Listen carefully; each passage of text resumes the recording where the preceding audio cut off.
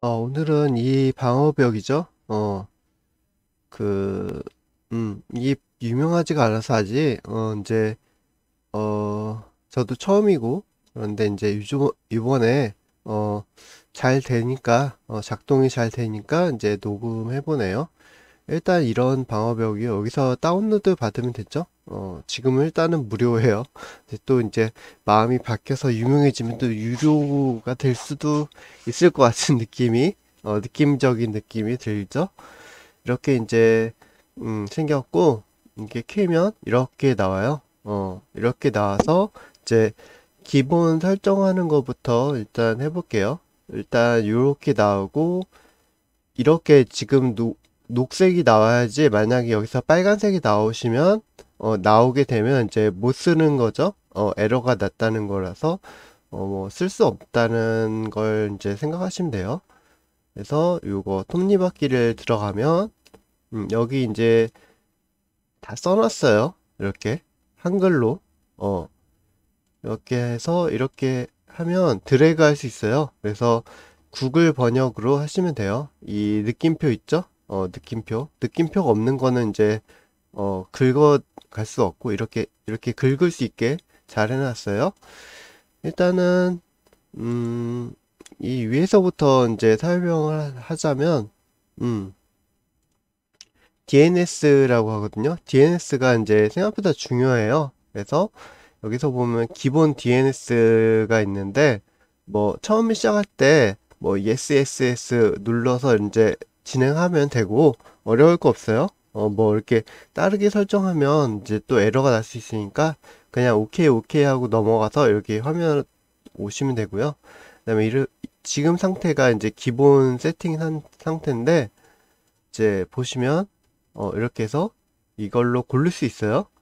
어, 이게 가장 무난하죠. 위에 게 어, 1112 1002 이건데 만약에 여러분의 DNS로 하려고 하면 어, KT의 경우 168, 126 이렇게 되거든요. 이거를 이렇게 드래그 카피해서 이렇게 해서 이렇게 하시면 돼요. 그 다음에 요거 면 이렇게 녹색이 세이브 되죠. 에러가 나면 이게 안 된다는 거예요. 그리고 두 번째 거는 이 이런 식으로 하시면 돼요. 음. 네, 구글의 DNS, KT 아니면 SK DNS를 검색해 보시면 되고 뒤에 있는 것만 이제 변경하시면 돼요. 저는 이제 이거 안 쓸 거니까 이렇게 치우고 어 그리고 여기까지는 했죠. 어 DNS가 이제 검색할 때 어 마트 같은 존재예요. 마트에 들려서 이제 음식을 사오잖아요. 그렇죠? 어디에 들렸다가 어디에 가고 뭐 그런 어 그 역할을 해주는 그렇죠? 버스 터미널 같은데요. 버스 터미널에 이제 서 있으면 어디든 가잖아요. 근데 일단 버스 터미널을 가야 되는데 뭐 그런 역할을 하는 거죠. 일단 어, 구, DNS는 검색해 보시고요. 그리고 두 번째가 어, 이거죠. 개인 필터 어 개인 필터 뭐 이렇게 다 나오고 이제 여기서 보시면 되고 이렇게 이렇게. 이게 기본 값으로 이렇게 적돼 있어요. 어 아까 말씀드렸던 것처럼 이렇게 누르면 나오고 그 다음에 요거죠? 네트워크 요거. 저는 이제 안, 안 골랐죠? 이게 고르면 막힐 수가 있어요. 여기 보시면 이제 음 어디 갔어? 어, 저도 익숙하지가 않아서 요거죠. 네스트 네. 아, 여기 있다. 여기 있죠? 어, 똑같은 거 찾으면 돼요. 어, 그래서 네트워크 범위, 인터넷 강제 차단. 그러니까 지금 인터넷 전체를 강제 차단하는 거예요. 여기. 그리고 밑에 어 인터넷 그 로컬이라고 하는데 이것도 마찬가지예요. 그러니까 그냥 다 차단하는 거예요. 어. 여기 위험하게 초보자들은 이제 선택하면 안 되는데 이제 여기 있어요. 여기 설대, 전, 절대로 선택하시면 안 되겠죠? 그리고 두 번째는 이제 그 이거죠. 요거 연결 유형. 그래서 P2P 어, 토렌 같은 거 안 하시면 여기서 이제 차단하면 되고 inbound 들어오는 연결 차단. 어 이거 안 하셔도 되는데 어 이거 하지 마시고요. 어 저는 이제 해놨어요. 그러니까 조금 내가 이제 컴퓨터 좀 다룬다 하면 이제 inbound 차단하시면 돼요. 어 그러니까 차단하는 게 조, 조, 추천을 하는데 이제 초보자 분들은 이제 추천하지 않, 않을 수 있다. 그쵸? 어, 왜냐하면 여기 해제를 해야기 때문에 inbound로 들어가는 거 차단하면 이제 해제를 수동으로 해야 되거든요. 그러니까 어, 완전 초보자 그러면 자기 이제 inbound 차단 건, 건들지 말고 어, 내가 좀 컴퓨터 안다 그러면 차단하시면 돼요. 차단하는 게 이제 좀제 컴퓨터 잘 하시는 분 차단하더라고요. 그래서, 그래서 저도 차단한 거고요. 그 다음에 규칙, 음, 나가는 규칙, 어, 이거는 들어오는 규칙이라서 외부에서 내 컴퓨터를 접속하는 걸 얘기하는 거예요. 어, 그 다음에 이제 내가 나가는 규칙. 이것도 잘 몰라요. 어, 그래서 저는 비워놨죠. 그리고 이제 세 번째 필터. 금방 나가죠. 여기서 저는 제가 한 거 이제 보여드릴게요. 요거, 요거, 요거. 그 다음에 여기서 이게 다 한 게 아니라 어, 이거, 이거, 이거, 이것만 했어요. 음. 그리고 이것도 펼쳐볼게요. 이것도 다 했고, 이것도 다 했고, 이것도 다 했고, 이것도 다 했죠? 어, 그리고, 아, 이렇게. 음. 그리고, 이렇게. 이렇게 됐네요. 이것도 펼쳐볼까요? 어, 이렇게 됐어요. 그리고 또, 또 펼칠 수 있어요. 어. 이렇게 또 펼칠 수 있습니다. 그래서 이게 어떤 역할을 하는지 NSFW 여기서 찾으면 되겠죠? 어, 설명은 굉장히 자세하게 영어로 해놨어요. 어, 여기 있죠? 어, 일반적으로, 어, 뭐 포르노라든지 뭐 이런 거 차단할 수 있다는 거죠. 그래서 여기서 이 중점은 뭐냐면 어 잘못할 수 있는 거 이제 보여드릴게요. 이걸 선택하면 안 되는 거 그렇죠?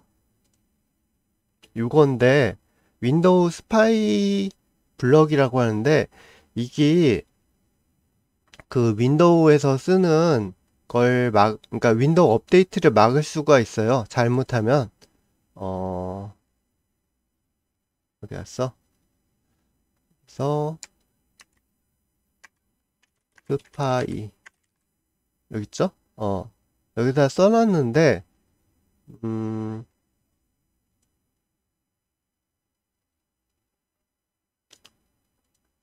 어,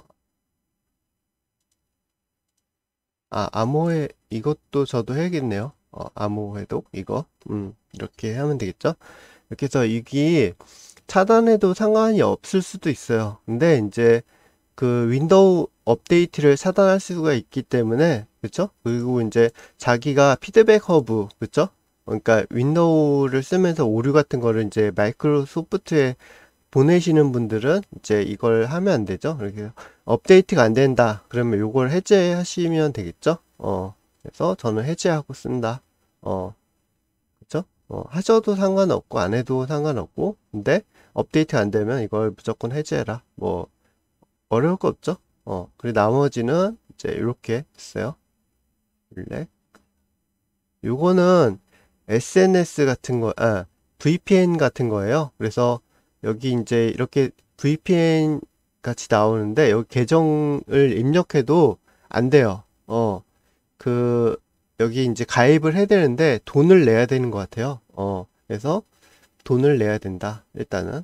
자, 돈 내서 될지 안 될지 잘 모르겠어요. 안 해봐서. 어, 유료예요. 일단은. 그래서 여기까지 다 했죠. 이 밑에도 마찬가지로 이게 뭔지, 어, 여기 뭔지 알고 싶으면 이제 여기서 이제 보시면 되겠죠. 음. 여기 다 써놨으니까 이렇게 그리고 이제 사이트가 있으니까 그 사이트 찾아가셔서 보시면 될 것 같아요. 그리고 DNS에 대해서 이제 아까 이제 여기서 이 DNS에 대해서 이제 자세하게 이제 클릭해서 나온 게 있는데 여기다 또 적었죠. 음.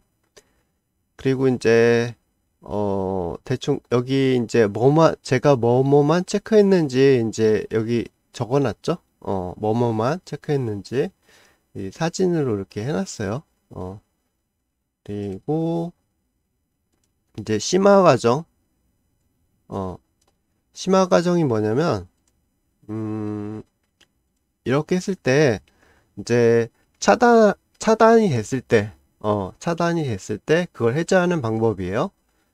일단은 이거는 전 다 차단했어요. 어, 이거는 뭐냐면 알 수 없는 앱이라고 하는데 이렇게 해서 이걸 차 이걸 연결 차단해 버리는 거예요. 어. 그래도 안 되면 안 되는 것 같아서 두 번째로 어, 이것까지 다 차단했어요. 연결까지. 그러니까 알 수 없는 앱에서 연결을 시도하는 거기 때문에 블랙이죠. 어, 블럭이죠. 어, 차단해 버렸어요. 어, 근데 여러분은 안 건드리는 게 좋을 수 있어요. 어, 모르면 이거는 건들지 말고, 그 다음에 이제 이렇게 이제 차단이 됐어요. 인터넷이 안 된다. 그럼 여기에 이렇게 가보시면 여기 차단 안 돼 있죠? 어, 여기 차단하면 안 된다고 했죠, 제가? 어, 어, 인터넷에 가보면 이렇게 해서 country, country라고 있어요. 이렇게 이걸 눌러서 음 이렇게 간 상태에서 이게 만약에 어 녹색이다 아 녹색이 아니라 붉은색이다 하면 이렇게 해서 어 여기 밑에 해, 그 허용이 나오거든 이건 차단이에요 이건 차단인데 허용이 나와요 반대로 그죠 그 허용을 누르시면 돼요 그러니까 여기에 색깔이 어 따, 저런 색깔이 되면 어, 보여드려야죠. 막힌 게 있으려나? 어, 여기 막혔죠? 음, 이렇게. 이렇게, 이렇게 됐죠? 지금 마이크로소프트 셋 윈도우 업데이터가 막혔어요. 어, 이렇게 보시면 여기는 이제 마이크로소프트라서 믿을 수 있는 회사죠? 어, 그죠? 근데 막혔어요. 443이 이제 정상적인 사이트라는 소리예요. 음, 근데 이제 막혔으니까 허용하고 싶으면 이렇게 이제 이걸 누르셔서 허용하시면 돼요. 음, 간단하죠? 어. 그리고 이제 이게 자, 어, 아, 여기서 안 되면, 여기서 안 들어가지면, 여기서 이제 누르시면 돼요. 그리고 이걸 누르면 이제 계속 이제 지금 상태로 어, 되고, 여기 막혔죠? 막혀 있으면 허용해 주면 되고 그렇죠? 어, 이런 식으로 하시면 돼요. 그래서 이제 오늘은 이제 요거 하시면 안 돼요. 언제 완전히 막아버리는 거니까. 어, 이것도 마찬가지고 이제 VPN 쓰는 거예요. VPN 쓰실 분들은 이제 가입하셔서 쓰시면 되겠죠. 그래서 음, 이거는 이제 막지 않았죠, 제가. 어, 그래서 좋은 점이 앱마다 이제 개인 설정을 할 수 있고 이거는 전체로 다 막아버릴 경우에 여기서 하고 음, 그런 거예요. 그래서 개인 설정이 이제 들어갈 수 있어서 참 좋은 것 같고 이렇게 그래프로 이렇게 나오고 이제 좋은 것 같아요. 그래서 이제 이런 프로그램도 대충 이제 외워야죠. 암기가 필요해요. 이거는 백신이고 이거는 윈도우 프로그램, 이제 파이어폭스 지금 녹음하고 있는 프로그램, 이거는 크롬 같은 거고 이것도 윈도우 이것도 윈도우. 어 그래서 이제 웬만한 거는 얘가 자동으로 다 해줘요. 어 자동으로 다 해주는데 의심스러운 거. 아까 이제 요거라든지 내가 안 킨 프로그램이 그쵸? 여기에 있는데 어? 이거 처음 보는 건데 구글 구글에 검색을 해봤는데 여기 있는 프로그램인데도 이제 그죠 수상해 그러면 차단해 보는 거죠 어 그래서 음, 그렇게 하시면 될 것 같아요 오늘 영상은 여기까지 하겠습니다. 감사합니다.